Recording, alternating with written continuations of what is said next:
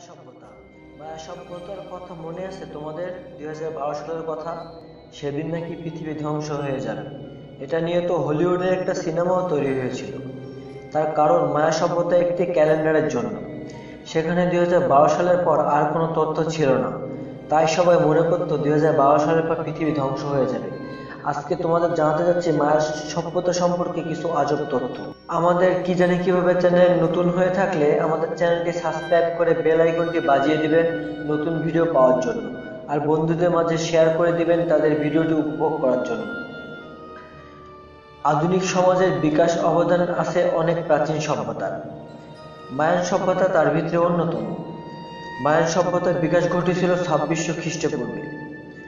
বার্নিল এই সভ্যতার যেমন ছিল সহিংসতা, নিষ্ঠুর আদিমতা, তেমনি বিকাশ ঘটেছিল জ্ঞান বিজ্ঞানেরও।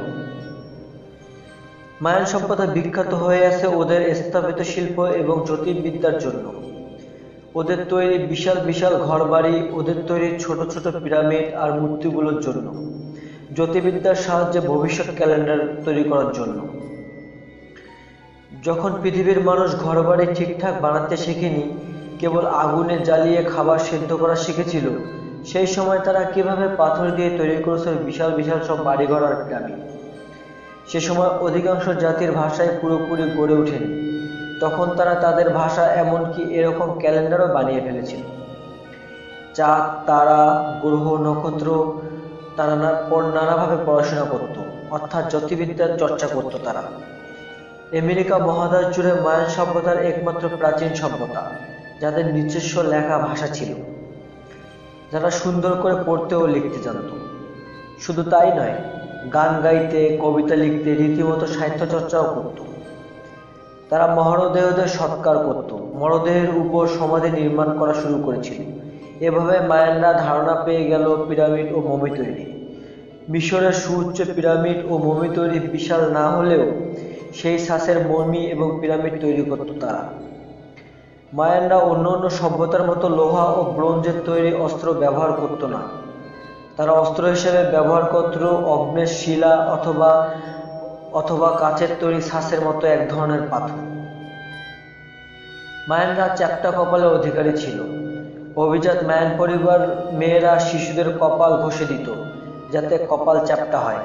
এমনকি চোখ টেরা করানোর জন্য চেষ্টা করত তারা।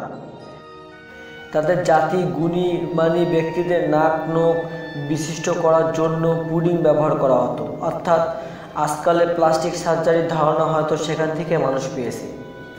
বেবিলিয়নদের পাশাপাশি মায়ানরাও ইতিহাসে সর্বপ্রথম জমি পরিমাপের ক্ষেত্র শূন্য ব্যবহার করছিল।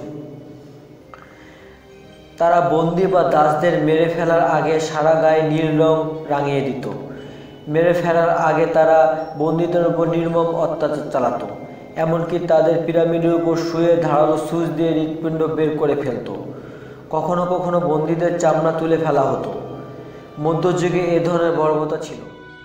মায়ানরা যে জ্যোতির্বিদ্যার পারদর্শী ছিল, তার অন্যতম উদাহরণ হলো তাদের তৈরি ক্যালেন্ডার। তাদের তিনটি ক্যালেন্ডার ছিল। তার মধ্যে একটি ছিল হাফ।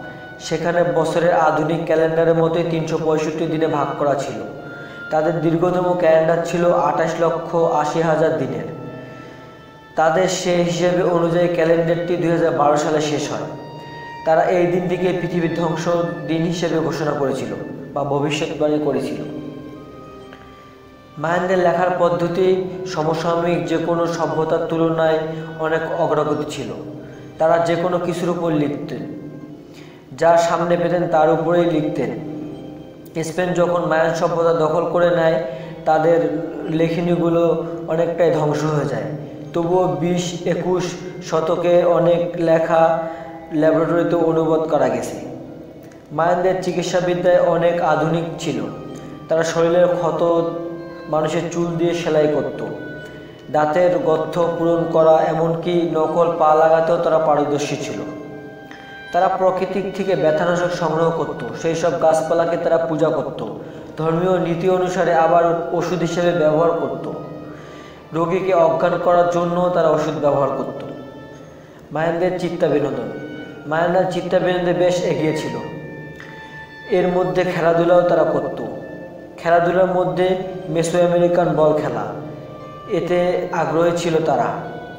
এর ময়দান বেশ সমতল এবং দুপাশে চ্যাপ্টা মঞ্চের মতো স্টেজ। তার সামনে দেওয়ালে গোল ছিদ্র সমুদ্র লোহার আংটা লাগানো থাকতো।